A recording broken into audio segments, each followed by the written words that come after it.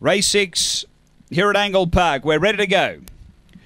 Racing, good speed, Emily Nolan down near the inside. Long Gully Pete midfieldish working up early. So Emily Nolan leads from Rhinestone Teddy. Long Gully Pete in the middle there of Dakota Far. They bump a little bit. The leader gets right away. Next is Desert Missile. A real tangle in behind this front runner. Then Jack's Kirsten. Back at the tail is Abby's Legacy. Collizos is back at the tail end, but up to the turn. Emily Nolan's a big leader. Long Gully Pete trying to uh, bridge the gap, and then came Dakota Far. But Emily Nolan with a clean run in the lead has gone on to win it pretty well in the end. Emily Nolan by eight lengths. Second home is Long Gully Pete. Then Dakota Far. And behind those, Rhinestone Teddy, Desert Missile, Jack's Kissed, Abby's Legacy. It was back toward the tail and Colazos back at the end. The run here, uh, it's around 29 and 90.